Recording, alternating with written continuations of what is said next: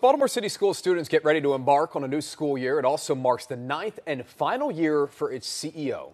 Dr. Sonia Santelises sits down with WJZ to talk about the progress made and the needs for continued improvement. And Stefan Dingle joins us now in the studio with more. Stefan. Hey there, uh, Nikki and Rick. Uh, Doctor, for Dr. Sonia Santelises, her final year as City School CEO is thematically about championing the underdog and building on the momentum of a school district that she says is positioned to become a premier district where all city school students can receive a full education.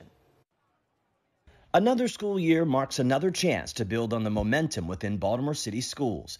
But its CEO, Dr. Sonia Santelises, will be the first to tell you they're a work in progress, but it takes a team effort. The team of city schools that really took very seriously, like my charge to say we we have to approach the education of our city's children the way we approach the education of our own.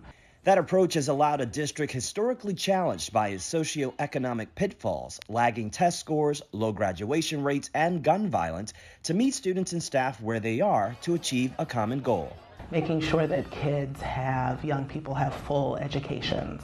Um, you know, I'm proud of the gains we've had in, in arts education and our student government numbers make me smile every time I see them. That student engagement, especially after the pandemic, was important for the city school's leader. Since then, student graduation rates and attendance are up. Strides are being made in testing. Our AP scores are up.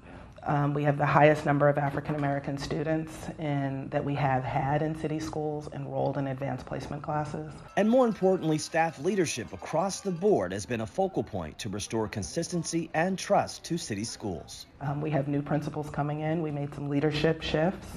So this is not just a coast year. Really thrilled about our new head of um, school police um, and that working relationship with the community. Dr. Santelises doesn't hold back on the large amounts of work that still need to be done, but says City Schools is restoring their pride with leaders who believe in the current momentum. It's people who believe in this and who bring excellence. And Baltimore City deserves that. They don't deserve the warmed over leftovers who couldn't be anyplace else. But she credits her team, the many community partners, and a mayor who is a City Schools alum for helping to lay the foundation of the district's future. And so I think his leadership has provided kind of that inspiration and push to say, how do we work better across the city? As she enters her final year as one of the longer serving school CEOs, Dr. Santelises takes pride in the foundation that has been laid for the city school's next CEO, whom she hopes comes in and continues to champion the underdog. We have, we have strong people here who could be doing other things, but they believe like I do this is about expanding excellence, not draining a swamp. As Dr. Santelises finishes her final year as City School CEO, she says whoever leads next, she just hopes they listen and get right to work on the things that still need to be addressed to continue the district's momentum. Send it back to you.